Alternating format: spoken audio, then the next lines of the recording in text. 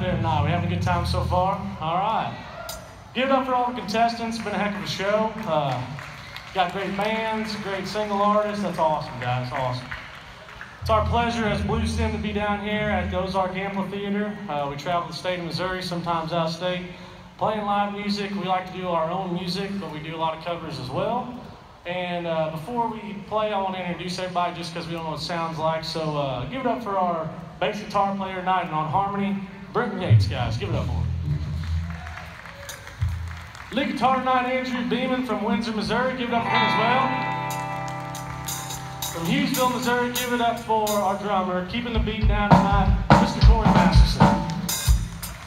And I'm Trent Scott. I want to thank you guys, thank you judges for having us out tonight, and uh, hope this is a good deal here. We what we do uh, mainly, guys, we have our, our uh, first EP that came out last year, and we're all about 24, 25 years old. And I got a long ways with this song one time. I wrote this back when I was about 17, 18. My grandfather taught me everything about farming.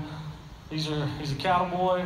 I'm a row cropper. Two mechanics. We're just small town country boys trying to make it somewhere, you know. And uh, want to thank all the farmers out there for raising beef and grain for what provides to us as consumers.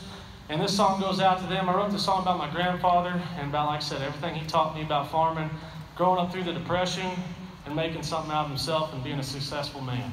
The song is called Tough. I hope you all like it.